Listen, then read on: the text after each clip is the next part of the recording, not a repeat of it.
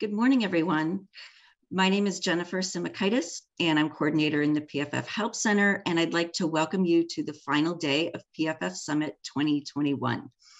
Thank you for joining us for the first live session of the day when PF worsens, common cold, influenza, COVID-19, or worsening PF.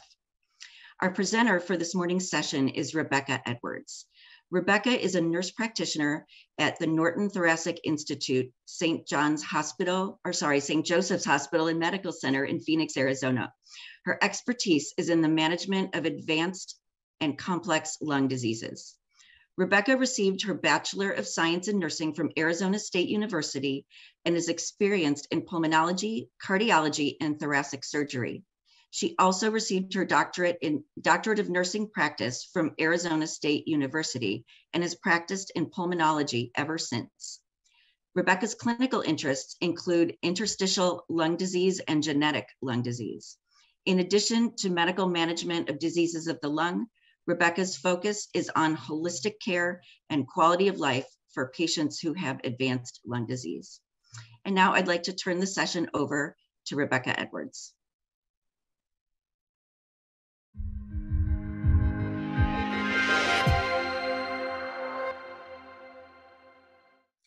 Hello, and welcome to the difference between colds, flu, influenza, COVID 19, and pulmonary fibrosis exacerbations. I'm Rebekah Edwards. I'm a nurse practitioner at Norton Thoracic Institute at St. Joe's Hospital in Phoenix.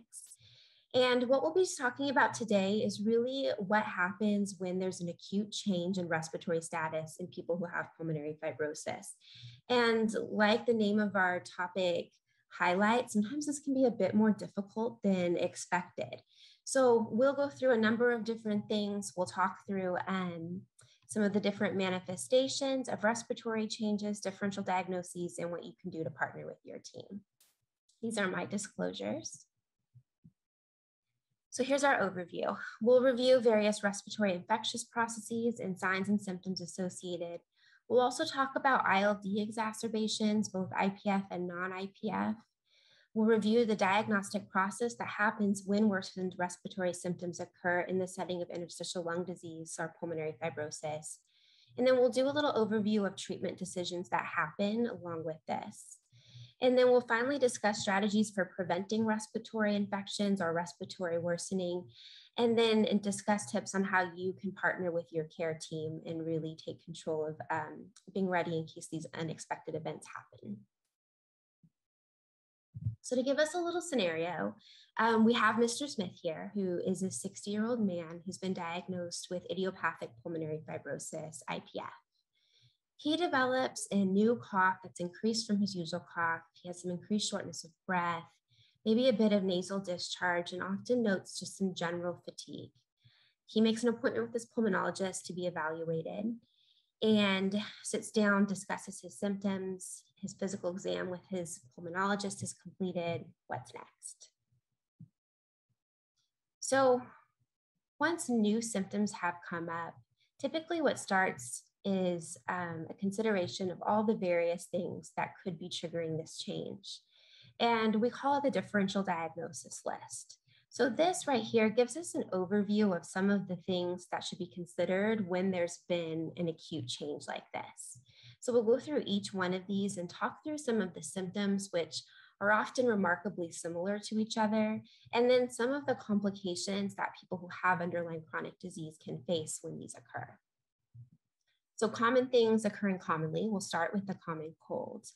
And actually, what we refer to as the cold can be caused by over 200 different viruses. Um, you know, the one of the most common ones is called rhinoviruses, which are estimated to account for up to 35% of colds that occur um, annually. And even within rhinoviruses, there's more than 100 different subtypes of this particular virus. So in addition to these viruses, colds are also commonly caused by adenoviruses, coronaviruses, um, and of note, this is different than um, the COVID-19 virus that we'll discuss later. These are common coronaviruses that we see every year, human metapneumoviruses, um, and we'll discuss a few more. So when you contract a cold, typically this is happening about 24 to 72 hours after exposure that the symptoms will appear. There is some seasonal changes in terms of what viruses we're looking for. Um, with cold weather often having specific viruses that we see. Now, this particular slide includes a little bit more than just cold viruses, but illustrates the point pretty well that there is a seasonality to this. So what's being de de denoted as um, PIV is um, parainfluenza virus. So you can see types one and two tend to cluster a bit more in the fall, while type three is more in the spring. And then we see um, HMP, human metapneumovirus, bit more in the spring, adenovirus, bit more in the spring. And then quite a bit of rhinovirus, although this tends to really concentrate um, fall and spring. And then we also have um, RSV, and then our typical seasonal influenza, which occurs mostly during cold weather. So the time of year that the illness occurs can give some clues onto what virus could be responsible. Typically, colds are transmitted through hand contact, so touching the hand of a person who has that virus on their hands and then touching um, your own mucous membranes, your own eyes or mouth. And then small particle droplets. So if someone who is um, infected coughs or sneezes near you and that lands um, on you. Symptoms of a cold. So our common colds or simple colds are kind of what we all know and expect. So think nasal discharge, nasal obstruction, think sneezing, and that's dry or scratchy throat. Um, there may be low grade fevers, typically not high fevers with a simple cold. Um, there can also be some general feeling of fatigue or not feeling well, ear pressure, headache, sinus pressure. People who have underlying chronic disease, however, will be a bit more at risk of developing lower respiratory tract involvement. Um, and this is typically more common in people who are older and also those who um, might have underlying disease such as ILD or who are immunosuppressed we'll do go a little bit more towards or through some of the lower respiratory manifestations here. So the most common lower respiratory manifestation would be bronchitis, um, which is an inflammation of the airways of the lung. And this contrasts with, the, with pneumonia in the sense that pneumonia will infect the lung tissue itself, while bronchitis is the airways of the lung. So symptoms of bronchitis will commonly include cough, some mild shortness of breath, wheezing, or crackles. And this typically either comes along with the cold like symptoms or can follow the cold symptoms. And then common viruses that are responsible are parainfluenza, the coronaviruses, rhinoviruses, RSV, and human metapneumovirus. Um, pneumonia is the little bit more serious of the lower respiratory involvement. So this will typically manifest with a bit more severe symptoms. So this can include higher fevers, more pronounced shortness of breath, and cough, which may or may not be productive. So typically viruses such as influenza or COVID-19 have a more strong association with pneumonia. Um, and we'll talk a bit more about those in the slides to come. However, there are cold viruses that can be associated with viral pneumonia, um, and these are known to cause more severe lung disease in people who have underlying lung conditions such as ILD or, or immunosuppressed. So the flu, I'm including this terminology, and I think we all see this quite a bit and sometimes aren't as exact about what we mean. So I think when people say the flu, typically we mean any sort of respiratory virus. Sometimes we talk about the stomach flu, which can include GI viruses. Um, to be strictly correct, the flu is really intended to mean influenza, um, which we see typically every year. We'll have an epidemic of influenza in the winter. So the primary strains of influenza that cause disease in the summer are influenza A and influenza B. There are other types of flu, however, um, they're less likely to cause the extent of infections that, um, that we expect um, in the winter months. So typically infection with flu, you'll start to see symptoms one to four days from exposure. And then the important thing to keep in mind is that people can actually be infectious or contagious 24 to 48 hours uh, before the illness onset. So if you're exposed to the flu, it's something to keep an eye out for and keep in mind. On an annual basis, about 5 to 20% of the United States population will develop a case of the flu. Um, it's responsible for over 30,000 annual outpatient visits and ER visits and about 200,000 uh, hospitalizations annually. So, people who are at increased risk of complications from the flu are typically people who are 65 and older, have weakened immune systems, or who have chronic underlying um, diseases. So this gives us a little overview of influenza cases by year since the 2010-2011 flu season. And so you can see there's some variance and every year the predominant influenza strains are tracked. Um, and there's many different substrains of influenza A and influenza B that we see in varying numbers year to year. Um, obviously, this didn't include our most recent winter season, which was the 2020-2021 season. And um, as many of you know, we did see quite a bit less flu than usual that year.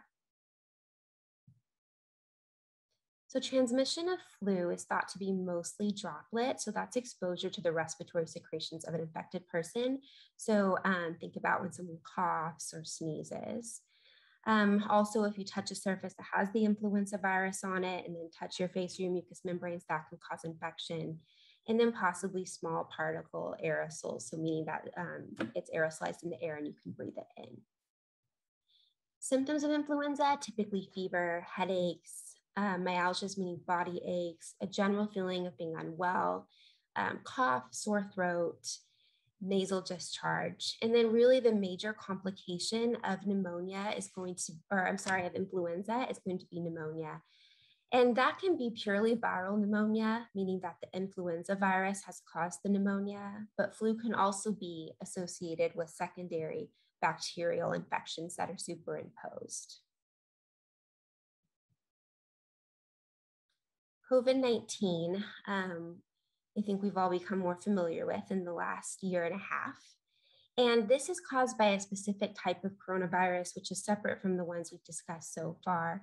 And this falls um, in relationship to this other SARS viruses, so severe acute respiratory syndrome viruses. Incubation of COVID is typically, we think, occurs within 14 days of exposure, but really the most common is about five days after exposure to develop symptoms. This is a little screenshot of the waxing and waning of how many cases we've seen in the US dating back to February 2020. You can see we've kind of been um, up and down and are a bit up again. As far as symptoms, Typically, cough is a predominant symptom, fever is common, body aches, headache, shortness of breath, sore throat, GI symptoms, changes in taste or smell. And again, the major complication of COVID 19 is going to be pneumonia, which can lead to acute respiratory um, distress and respiratory failure. Um, in terms of people who are at risk of developing pneumonia, is again people who are 65 and older, people who have underlying lung disease, they'll be at higher risk of complications from COVID 19. So, as far as transmission, breathing in air close to an infected person and um, potentially inhaling some, some, some particles that contain the virus and then having um, droplets of someone cough or sneeze near you and have that land on your own mucous membranes. And then again, touching your eyes, nose, or mouth with um, hands that have the virus on them. Bacterial infections um, can also cause similar symptoms to all that we've discussed so far. Um, so commonly is pneumonia, community acquired pneumonia have listed here. Um, and symptoms of pneumonia will again be similar to what we've discussed. So cough, increased shortness of breath, feeling tired, potentially fevers. And then I've listed here some of the more common bacteria that can cause community acquired pneumonia. Um, however, this can be caused from a range of typical and atypical bacteria. Um, community acquired pneumonia is fairly common and accounts for about 4.5 million office visits and ER visits every year. Um, aspiration can also lead to pneumonia, so stomach contents going into the lung. And this is important because we know that people who have idiopathic pulmonary fibrosis have a strong link with the incidence of acid reflux disease. And also people who have autoimmune lung disease are often, um, are often affected with esophageal dysmotility as well.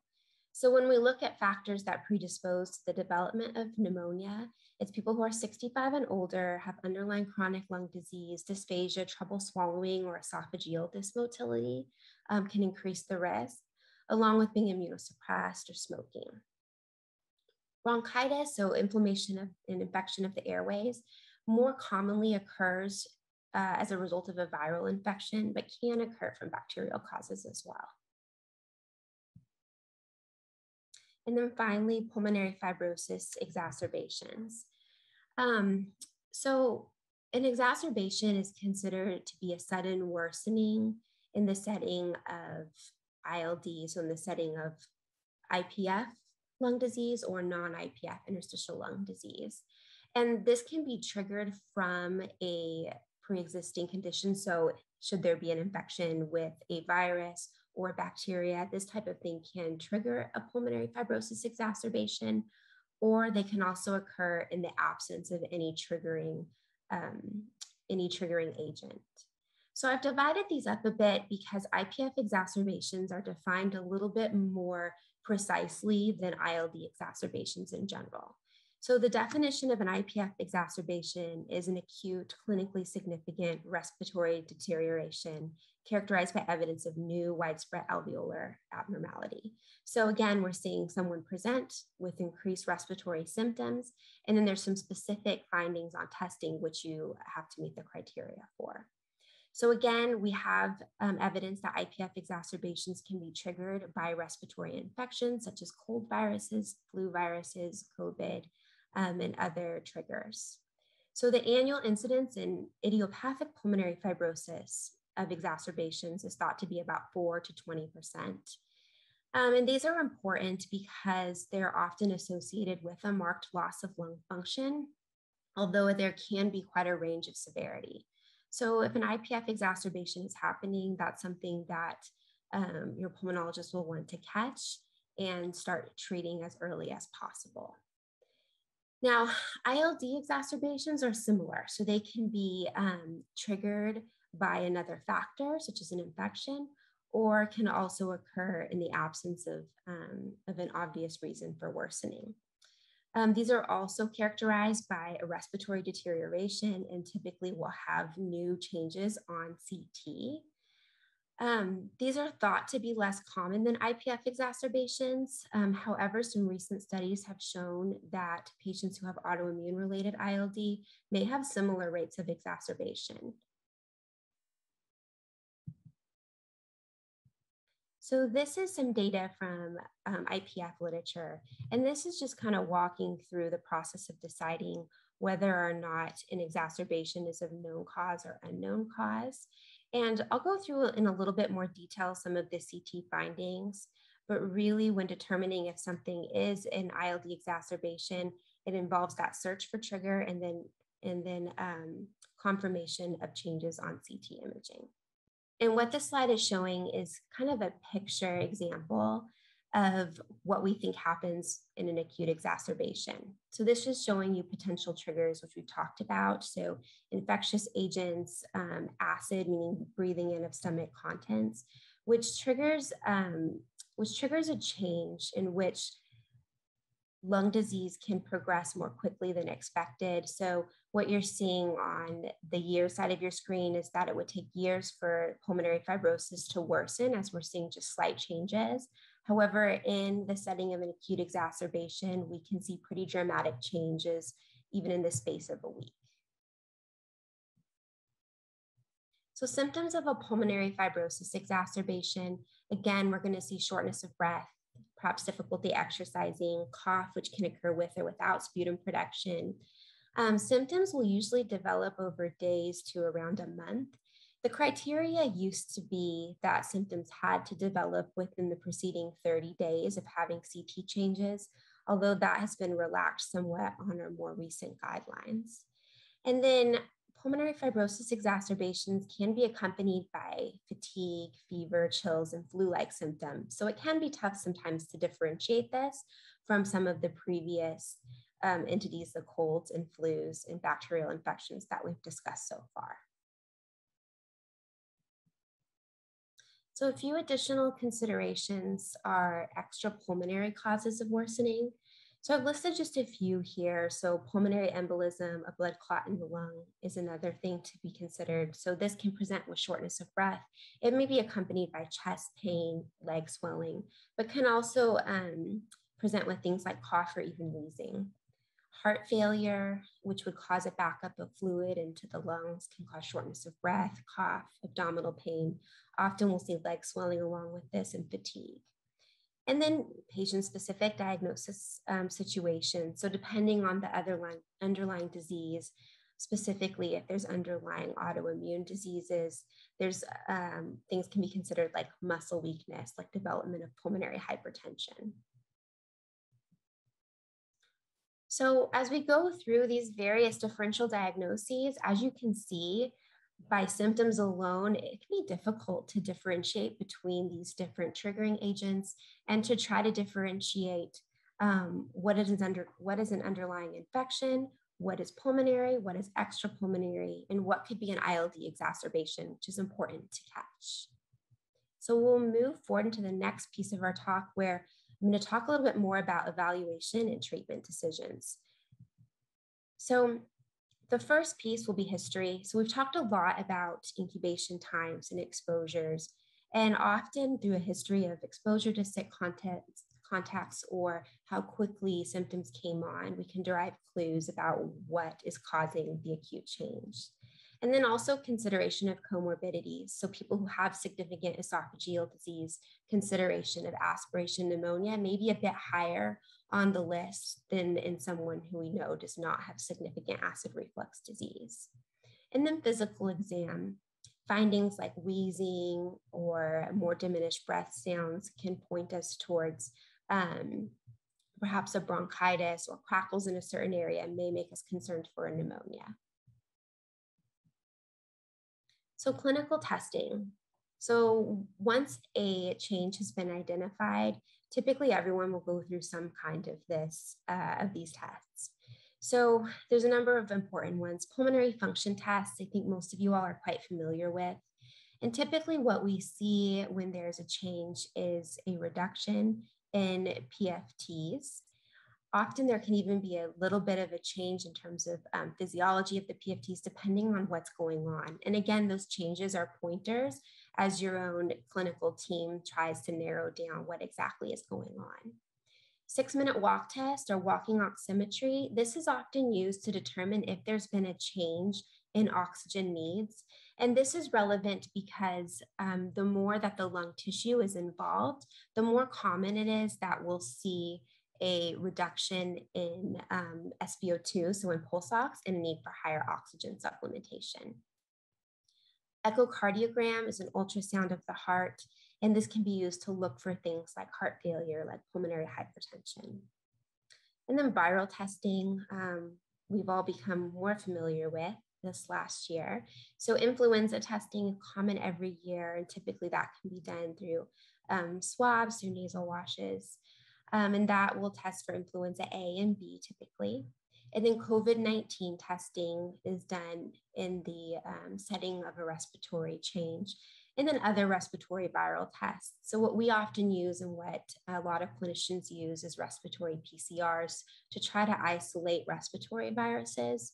And many panels will test for, um, for all the common cold viruses, common bronchitis viruses, and can isolate those to really identify what the underlying cause of the respiratory change is. Bacterial cultures, typically this is in the form of sputum cultures for patients who are treated as outpatients. Again, this is looking to isolate specific bacteria. Um, this can also be looked at in blood, looking for identifying, identifying bacteria, and then rarely bronchoscopy, although in the setting of respiratory compromise, um, bronchoscopy is rarely done.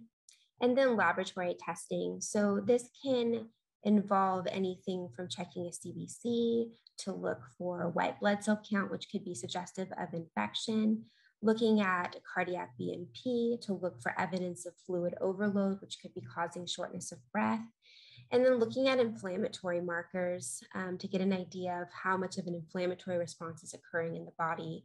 These are also used commonly in autoimmune diseases. And then chest imaging. Um, chest x-ray can be used.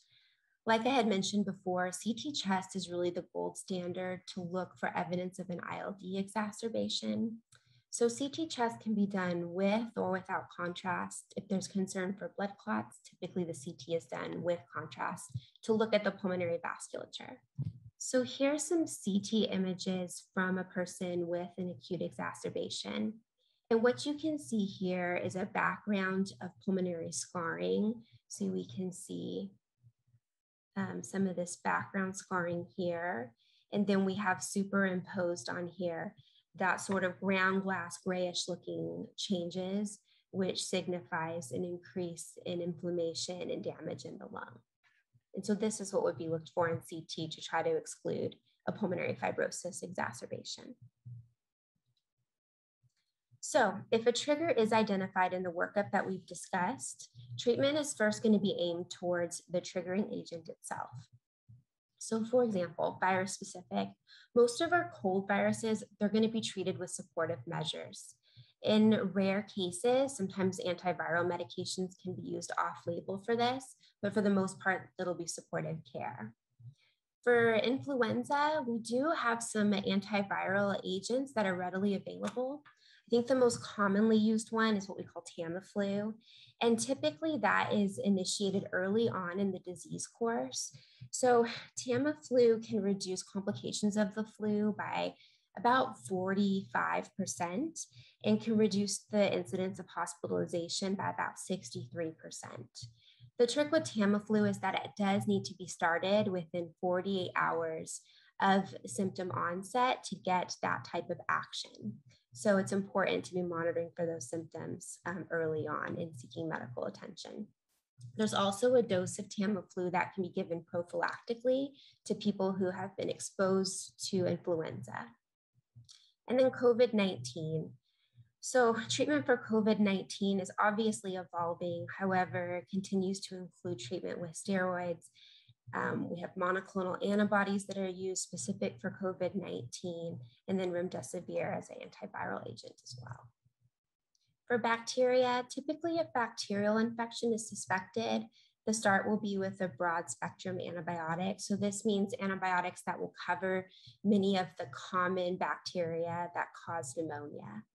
Otherwise, once um, a specific bacteria has been identified, antibiotic selection can be narrowed down so that it's tailored to that specific bacteria.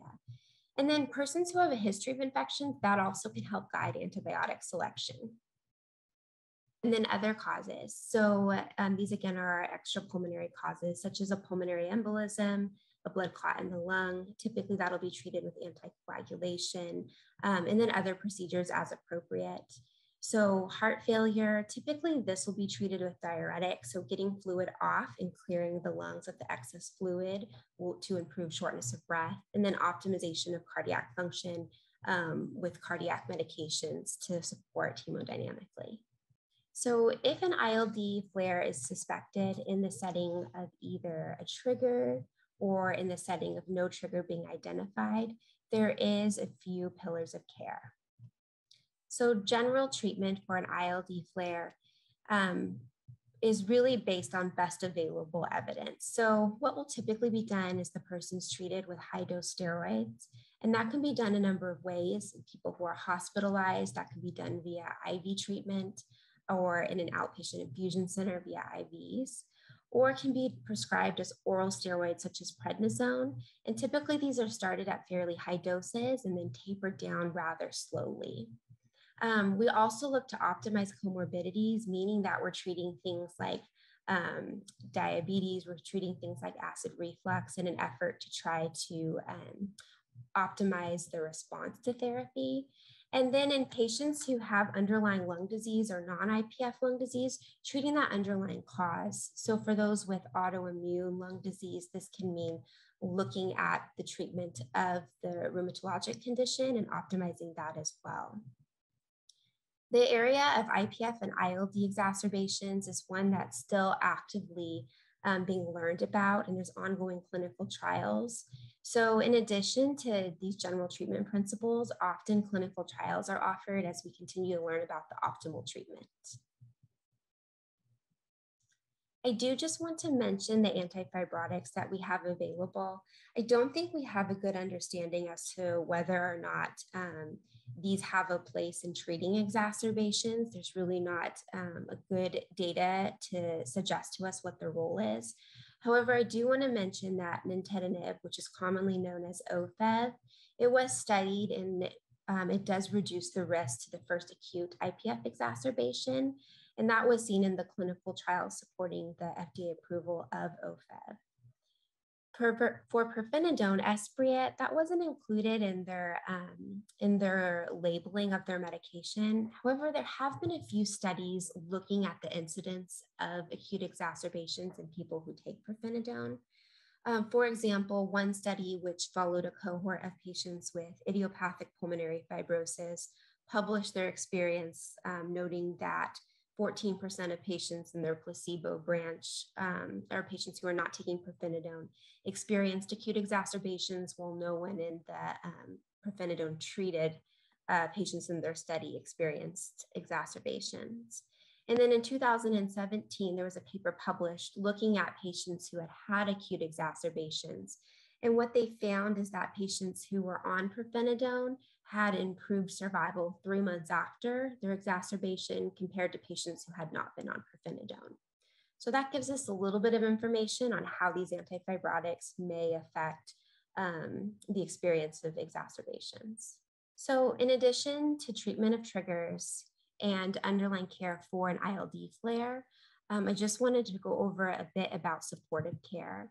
So this will include things like making sure that oxygen supplementation is appropriate Often, if there is a illness, there can be a transient need for increased oxygen supplementation.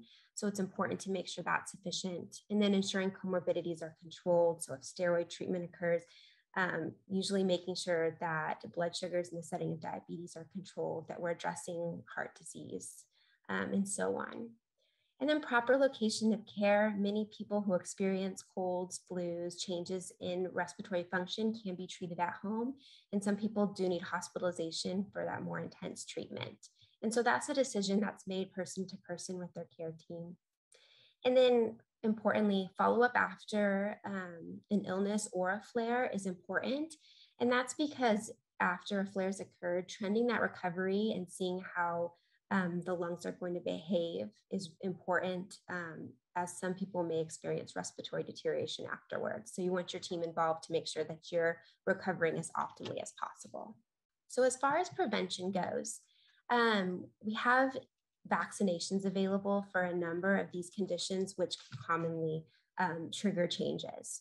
So, influenza vaccination, as you know, comes out every fall, and the CDC's recommendation is that that flu vaccine is received actually by the end of October. And then keep in mind, it takes the body about two weeks to develop antibodies after vaccination. So you have to get it a couple weeks before you're really wanting to make sure that you have those antibodies developed.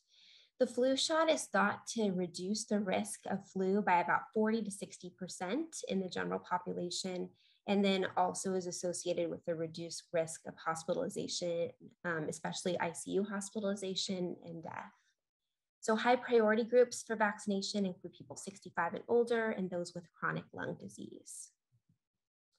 Pneumococcal vaccines protect against bacteria which cause pneumonia along with other conditions. And vaccination with the pneumococcal vaccines is a bit more nuanced. So there's two versions, there's Pneumovax and Prevnar 13. In adults with chronic lung disease, it's recommended that everyone 19 to 64 receives a dose of Pneumovax, and all adults 65 and older are, are um, vaccinated with both Pneumovax and Prevnar 13 vaccination. For COVID 19 vaccination, um, recommendations again continue to evolve. So at this time, we have our two mRNA vaccines, which are two dose initial series, and then um, Johnson & Johnson Janssen uh, one dose series. And booster shots are now recommended in certain scenarios. And then lifestyle modifications. So we've learned a lot about this. Um, and the great news is that what we've been doing the last year and a half in the setting of COVID is also quite effective in, a, in, um, and avoiding other respiratory viruses, such as the flu and cold viruses. So things like staying home when sick and avoiding other people who are sick, masking, hand washing, social distancing, optimizing comorbidities, meaning that we're treating the whole person and all of the things that are going on, and then general healthy living. So exercising routinely, eating well, um, and maintaining our immune systems as much as we can.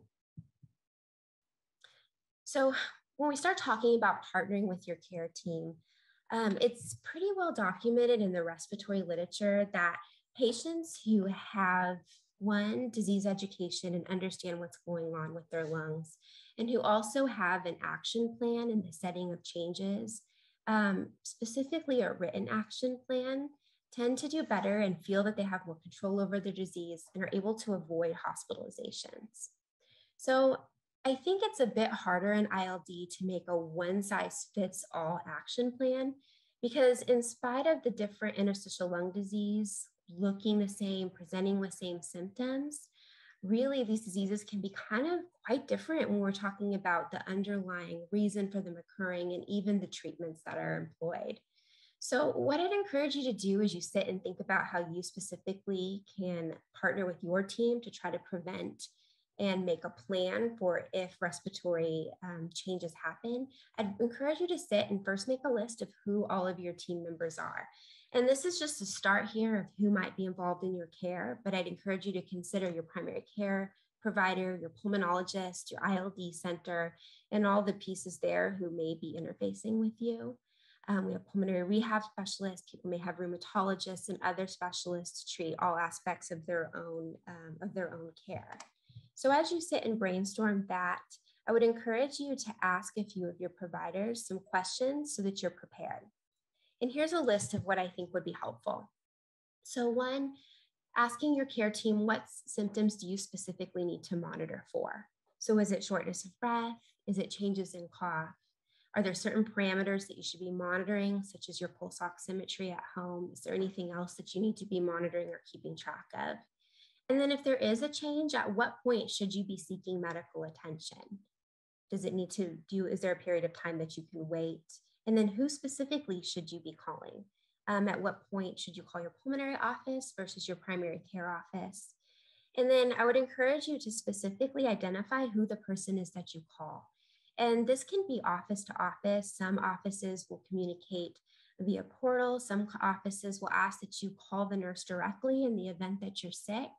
And so I'd encourage you to write down who your point of contact is at all of your offices and for which, uh, and for which symptoms you call which office. And then with your teams, especially your ILD team, is there any home protocols that should be in place for changes in your respiratory status? What should you do if there's a change in oxygenation? And then finally, what are signs that you do need to go to the ER or seek emergency assistance? So I'd encourage you to write down the answers to these and then um, also make a list throughout um, the time between your visits about what you need to communicate with your team and have a space for that. So, things to communicate would include medication issues, um, including if you're needing to take a break or you're having trouble with one of your medications. These are things to communicate clearly with your team, as this might affect um, your risk of, of an illness oxygen changes, vaccination needs, making sure you're staying up to date on those and doing everything you can to keep yourself healthy. And then new medications or new medical diagnoses. And I've seen a number of really wonderful organization systems from um, many of my patients. But what I would suggest is that you take these questions and you write them down and then write down the responses from your team and then make yourself some kind of quick reference where you can look to trigger in your mind if this change happens, what the protocol is in terms of who you call. And then I'd encourage you to have the person you're calling and the number you're calling all lined up in your booklet here. Um, it's also a great place to keep those, those items that you need to discuss with your team or keep questions so you make sure that you're getting all your questions answered when you have your visits. So in summary, the differential diagnoses for acute respiratory and changes in ILD is broad. We've talked through a lot of different viruses, bacteria as different things that can cause a change. Workup of respiratory changes involves identifying triggering factors And then treatment involves treating known factors along with general guidelines in the setting of ILD exacerbations. Preventative health is important, so making sure you're staying up on your vaccines and you're doing everything you can to prevent infections uh, with lifestyle modifications. And then finally, being prepared ahead of time involves partnering with all aspects of your care team. Thank you so much for your time and attention, and I'm happy to take any questions.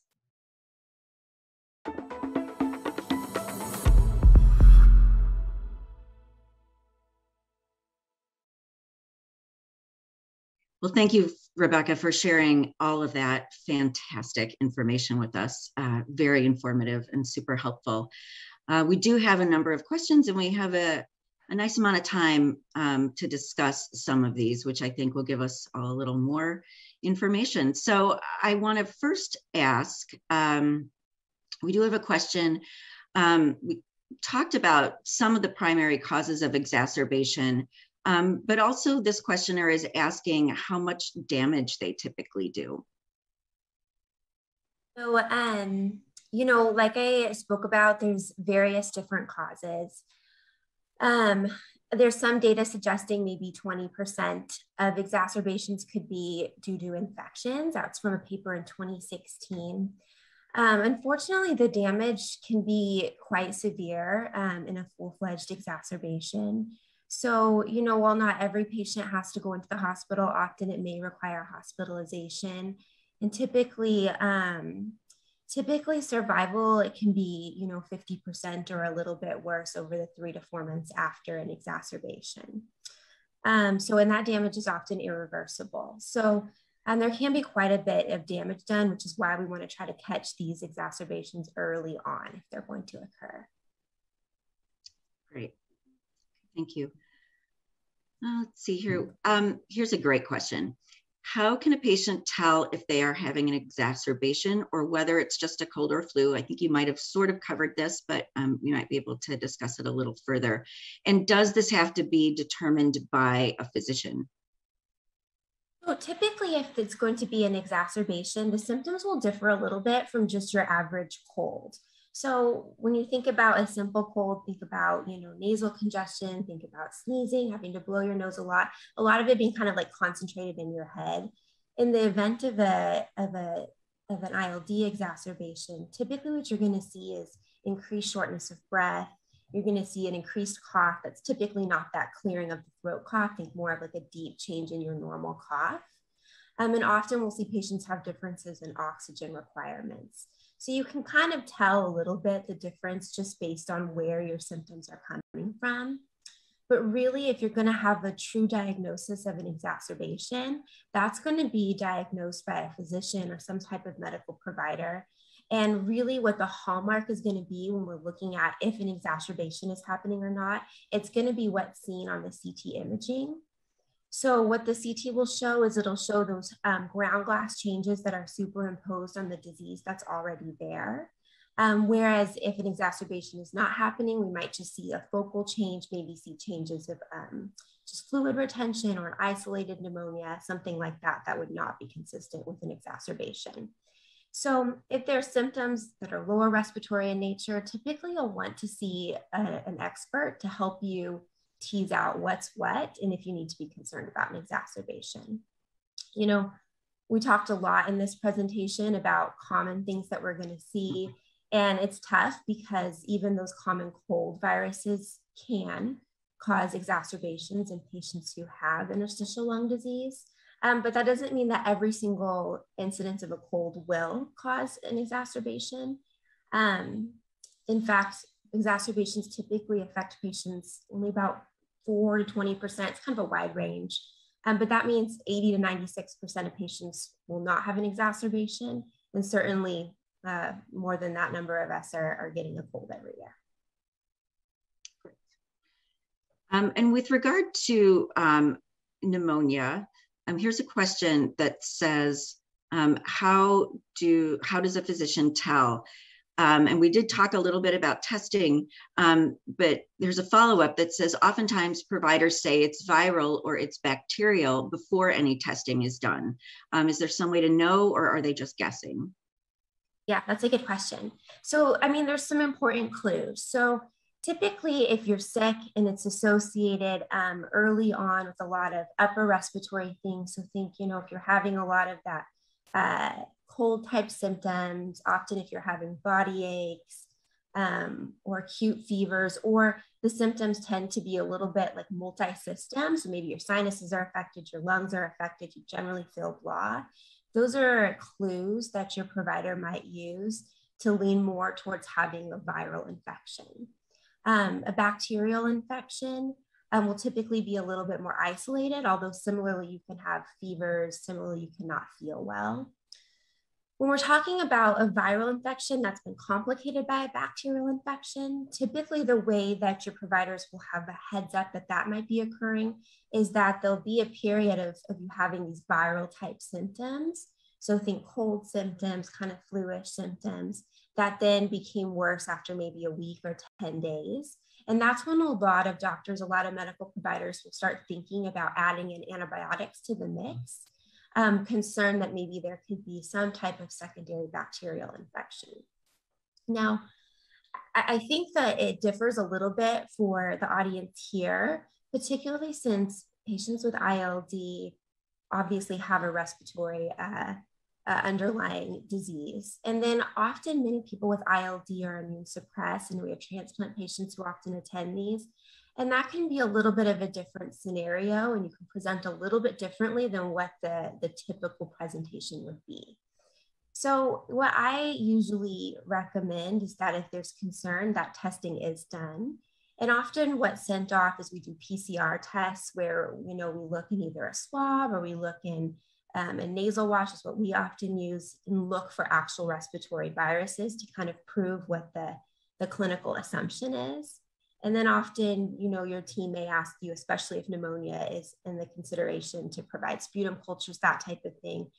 And again, what that'll do is it'll give your, your medical team additional information so that they can tweak or change what maybe the standard of care would be to make sure that all the aspects are being addressed. So I guess to sum it up, there's some clues that can give us an idea of if it's viral or bacterial. And that's what your doctor's going to say when they're saying, oh, I believe it's viral. Oh, I believe it's bacterial. Um, but if there's any question, typically testing has to be done to confirm that and make sure we're on the right treatment path. Great, great explanation. Thank you.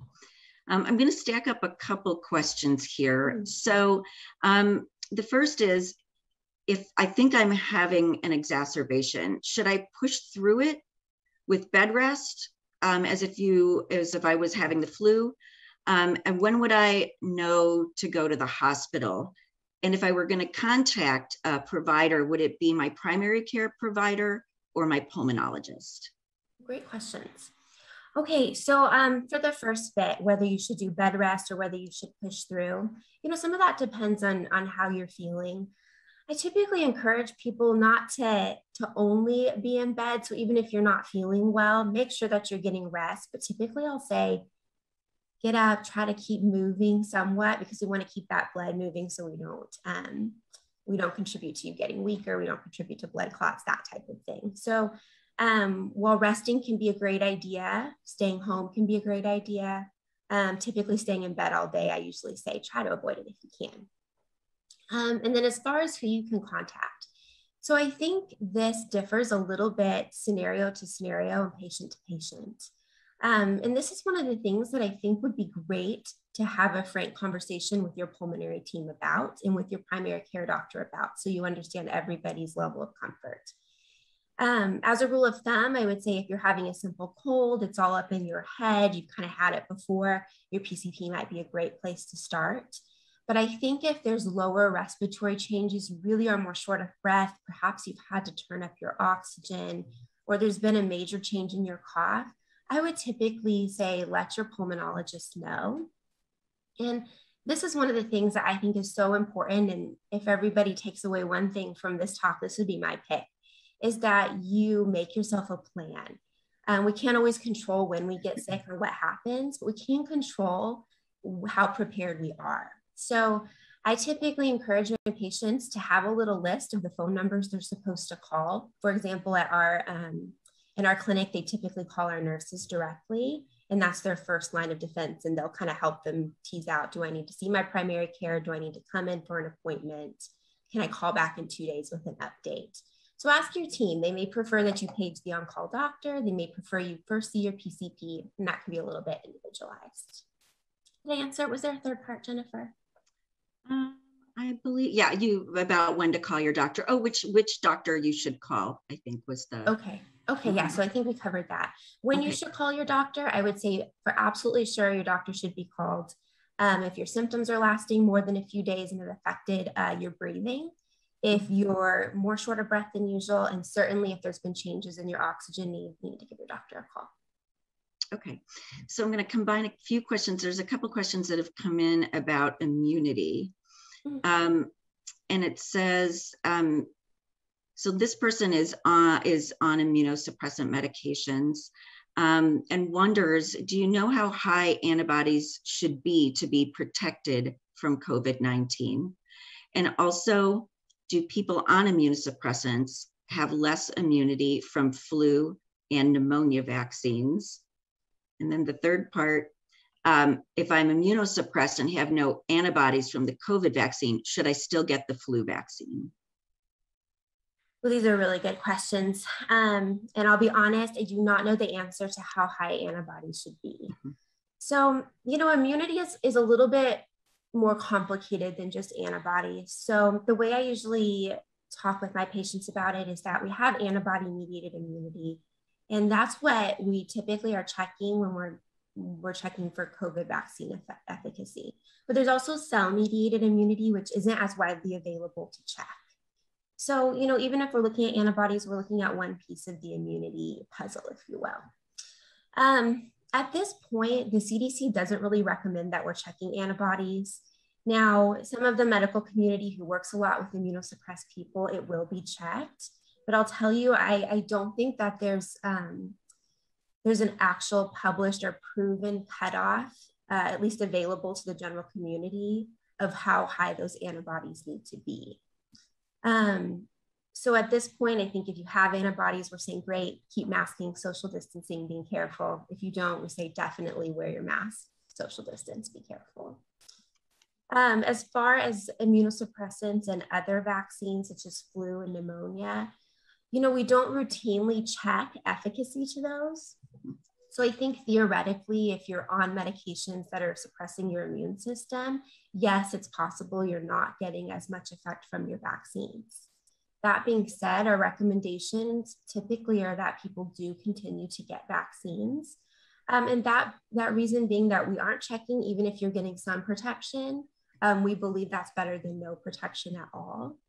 And the one caveat that I will say is that if you are immune suppressed, um, we do recommend that you never get that live flu vaccine um, because that actually can be dangerous to people who are immune suppressed. So you'll always want to get the injection form, never the inhaled form of those vaccines to make sure uh, we're getting you as much immunity as possible.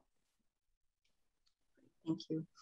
Um, here's an interesting one. Um, so do PF patients who are hospitalized with a fast progressing exacerbation get put on the transplant list right away? And how does that work? Mm, okay, great question. Um, so it can depend quite a bit. Often, if patients come and they're in the hospital with a fast progressing pulmonary fibrosis, um, often this will tend to be an IPF just because of how the d- disease progresses. Often transplant teams will be consulted if the feeling is that the damage is too great. Um, a lung transplant workup is a rather lengthy and detailed process. I, I, typically describe it as getting the best physical of your life, and they're going to check your entire body to make sure that you're healthy enough to go through um, through a transplant, and that it will actually benefit you and, and not harm you. So, in certain cases, in a rapidly progressive IPF, it's possible to do those workups while people are in the hospital. And perhaps if the person was already in good health prior to this exacerbation, it's possible they may be able to be listed and get a transplant through what we call um, an expedited transplant workup. Um, the issue is, is that often we do have other medical conditions that are going on. And if you're really sick in the hospital, it may not give the transplant team the type of time they need to vet out all of those issues. So I think one of the important things to keep in mind is that the Inter International Society of Heart and Lung Transplant, they put out some nice guidelines about who is a candidate to be seen and consult at a lung transplant center um, and at what point patients should actually get placed on a transplant list. And those are actually quite different from each other. So the guidelines are that anybody who has a diagnosis of interstitial lung disease automatically qualifies to be seen at a lung transplant center. If you have a diagnosis of interstitial lung disease and you wear some type of oxygen, even if it's just when you're exercising, you automatically meet two criteria that, that you can go um, to consult at a transplant center. So, what I often encourage people to do is start thinking about transplant well before you think you actually need it. Um, and consider being seen at, at your local transplant center, at whatever transplant center you want to be seen at, to say, here's my diagnosis, here's the other things going on with me. Often, what's done is people will go through a transplant evaluation early on in their disease course. They'll go through the testing. If there's any uh, issues that need to be resolved, that gives the transplant team time to work through those, time to get to know you. And that way, you know, when the unfortunate event and exacerbation happens, something changes unexpectedly, you already have that relationship. You've already done some of the testing, and it makes it much, much easier um, to make sure that transplant stays an option for you.